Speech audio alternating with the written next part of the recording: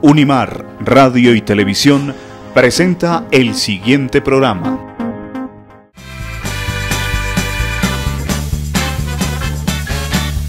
El 21 de mayo, la Unidad de Proyección Social, la Facultad de Ciencias Contables, Económicas y Administrativas y la Facultad de Ingeniería de la Universidad Mariana, en convenio con la Gobernación de Nariño, socializaron el proyecto de turismo asociativo para la ruta de volcanes y lagunas del sur de Nariño. Justamente socializar a las entidades públicas, privadas y a las entidades que están relacionadas con el turismo, la cultura y eh, lo ambiental este proyecto que estamos liderando desde la Universidad Mariana, eh, interdisciplinaria e interinstitucionalmente con la Gobernación de Nariño. Este proyecto busca fundamentalmente eh, proponer un eh, turismo asociativo diferenciado y competitivo en la ruta de volcanes y lagunas del sur de Nariño. Leonardo Sansón, delegado de la Gobernación de Nariño para este proyecto, explica su importancia para el sector público y privado que beneficia a toda la región. Este es un proyecto de suma importancia por muchas razones. La primera porque visto Nariño desde el extranjero, por expertos sobre turismo, se señala que su potencial diferenciador eh, es lagunas y volcanes. Entonces, en primer lugar, se le está apostando al mayor atractivo que tiene reconocimiento internacional.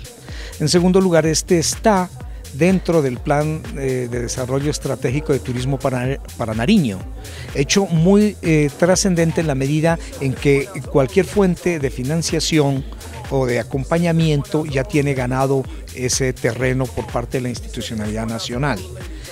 Tercero, que la academia se vincule a procesos de desarrollo con impacto socioeconómico y cultural con las comunidades es algo que hay que resaltar permanentemente y la Universidad Mariana lo viene haciendo y en este caso le apuesta a algo que tiene eh, mucho contenido.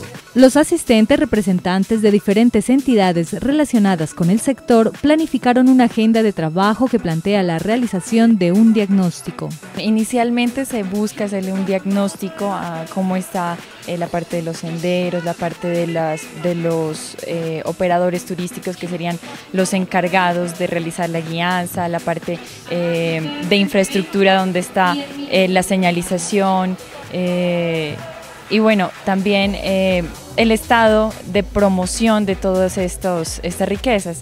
Entonces, lo primero es hacer este diagnóstico y después eh, continuar con un proceso de implementación eh, de la señalización, de adecuación de los senderos, eh, de información a, los turistas y bueno, ayudarle a toda la cadena del turismo que incluye no solamente los atractivos, sino también toda la comunidad que está relacionada con, con los atractivos. En general, los asistentes destacaron lo valioso que sería para Nariño el desarrollo de un proyecto turístico para la ruta de volcanes y lagunas del sur.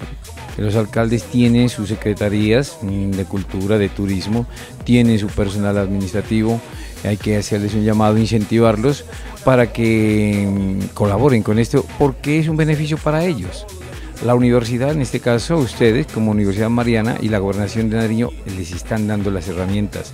Entonces el llamado es a los señores alcaldes y a todo el equipo de funcionarios de cada uno de los municipios involucrados en este proyecto que aprovechen esta situación, despertar el interés porque es una fuente de trabajo para cada uno de los habitantes.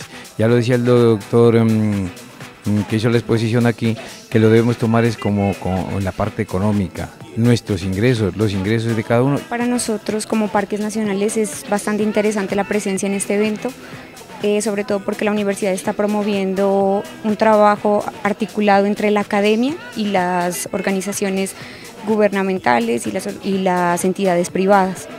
Eh, es una propuesta bastante interesante para mm, el empoderamiento del, del patrimonio cultural y el patrimonio natural que tiene el departamento, pero al mismo tiempo es importante em, que, nosotros como parques podamos aportar en, nosotros cómo hacemos la administración y el manejo de estas áreas.